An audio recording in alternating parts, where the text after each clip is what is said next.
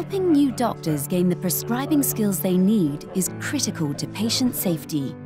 A study by the General Medical Council in the United Kingdom revealed that junior doctors made 8.9 prescribing errors per 100 prescriptions, twice as many prescribing errors as their more experienced counterparts. Junior doctors work hard. They are under huge amounts of stress in clinical environments that are very uncertain, complex, ambiguous.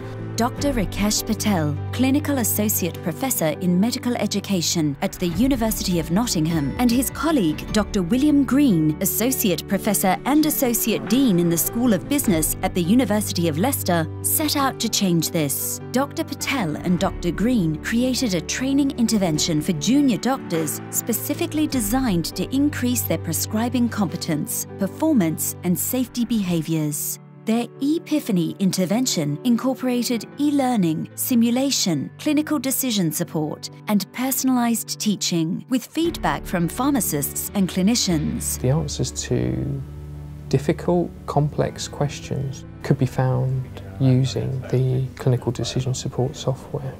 UpToDate welcomed the opportunity to join other major institutions in supporting this training initiative by providing licenses to support mobile access to clinical decision support. The results of this training intervention were dramatic. Over the course of their four month training, these junior doctors obtained the equivalent of 12 months of clinical experience. Then actually empowering them to get their mobile phones out and check the answer actually started to empower them to start doing it for themselves and making it okay to say, I don't know, should we look it up? But the final piece in this jigsaw is the understanding that then, at that intersection of uncertainty and complexity, we need to make a conscientious appraisal of the best evidence around us. Clinical decision support tools help junior doctors make the right decision at the right time for the right clinical problem. Most significantly, these junior doctors showed a 50% decrease in prescribing errors with no serious error whatsoever.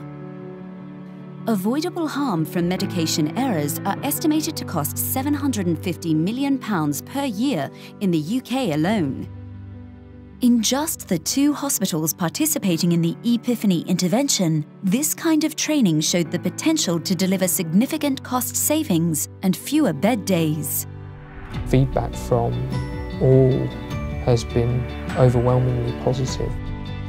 Innovators like Dr. Patel have a big impact on patient safety in the UK UpToDate is proud to support the work of Dr. Rakesh Patel and Dr. William Green and innovative clinicians around the world.